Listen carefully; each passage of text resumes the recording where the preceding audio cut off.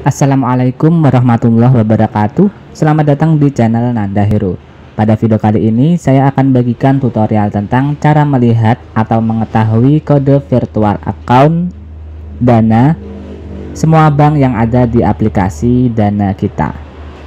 Perlu teman-teman ketahui kode virtual account ini biasanya digunakan untuk isi saldo akun Dana kita lewat bank atau apabila ada yang ingin mentransfer saldo ke akun dana kita lewat bank nah langsung saja kita ke tutorialnya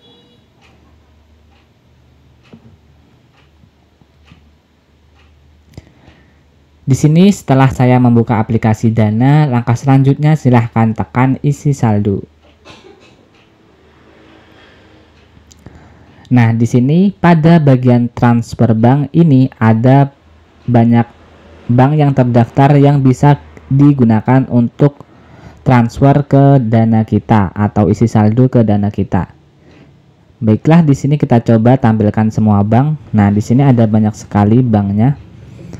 Kemudian di sini silahkan pilih uh, kita ingin isi saldo menggunakan bank apa. Sebagai contoh di sini saya mau isi saldo uh, atau apabila teman kita ingin mentransfer lewat BCA ke dana kita.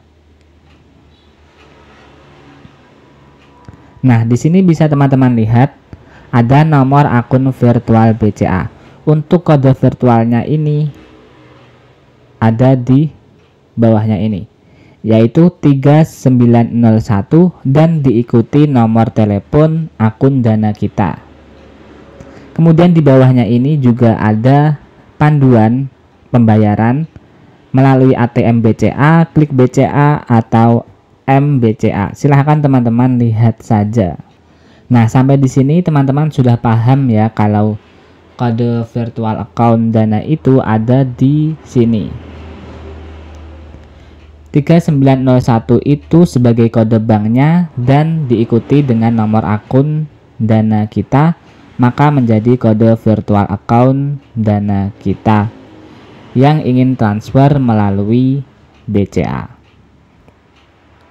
Nah, di sini ada bank lainnya sama saja caranya silahkan teman-teman buka dan pilih banknya sebagai contoh lagi di sini saya mau cek di Bank BRI.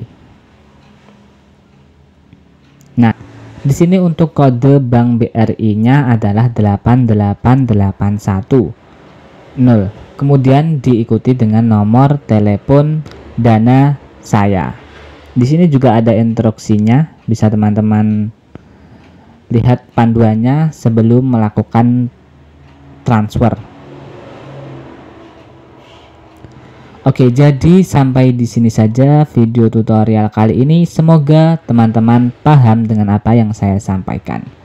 Baiklah, sampai jumpa di video tutorial selanjutnya di channel Nanda Hero.